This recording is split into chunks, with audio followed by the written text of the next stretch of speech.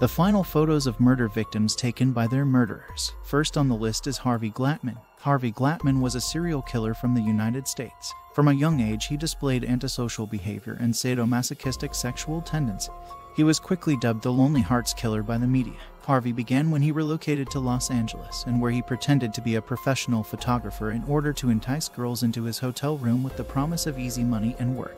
He tied them up, then photographed them, and then murdered them and dumped their bodies in the desert. Second on the list are Robert Ben Rhoades and Regina K. Walters. Serial murderer Robert Ben Rhoades took this photograph of 14 year old Regina K. Walters. She was one of many women detained in an 18 wheeler equipped with a torture chamber in the back. The photograph was taken in an abandoned Illinois barn where Robert murdered Regina after severing her hair and forcing her to wear a black dress and heels.